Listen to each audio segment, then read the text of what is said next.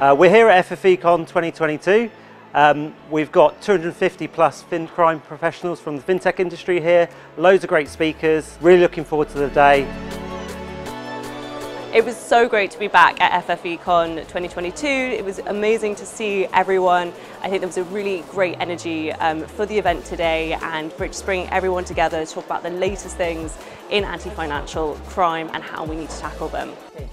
Ah, oh, being in a physical environment with actual people, like-minded people as well. Oh God, I've missed that. It's not often that you get um, events like this where you can actually connect with other financial crime professionals and showcase the work that we do and also get to see some really good panellists talk about the work that they do and get insights into other areas of financial crime that I might not usually. And this is intelligence sharing in action. You, you come to a conference where you see a list of kind of panels, you maybe circle one or two and think, oh, I really hope this is a good panel. But what I've seen today has been panel after panel after panel has been consistently high quality and, and super, super interesting.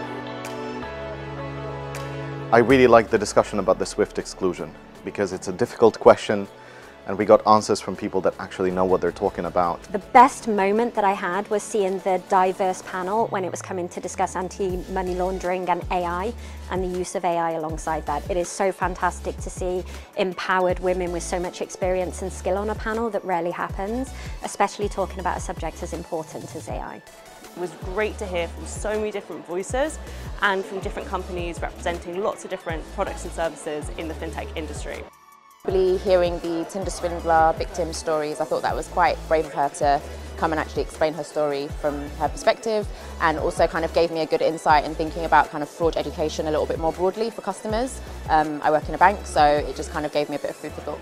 It's just a great way to keep in touch with things that you don't necessarily focus on. So for instance, I like the data uh, session that took place today and I've realised actually you know, it's more important to be connected with the different parts of um, all the fields that work together to kind of tackle financial crime. It's something that I don't focus on too much, that's not my area, but um, I found a lot of insight um, that I'll kind of take back to, to work and see if I can be a bit more helpful in that area.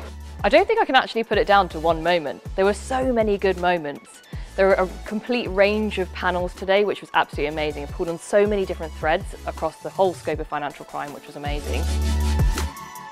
Since joining the FFE, I just stopped feeling alone in my decisions. I can speak to people, I can weigh my decisions with other people that have been through the same journey as I'm going through now.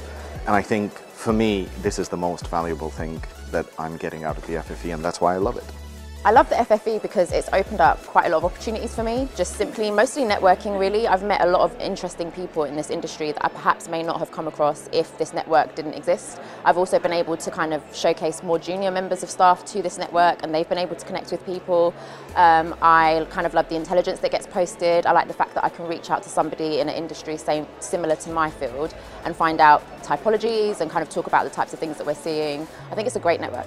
And the key thing I've taken away is the power of collaboration, to see everybody in the room discussing, networking outside, sharing moments and sharing thoughts on the stage and off the stage.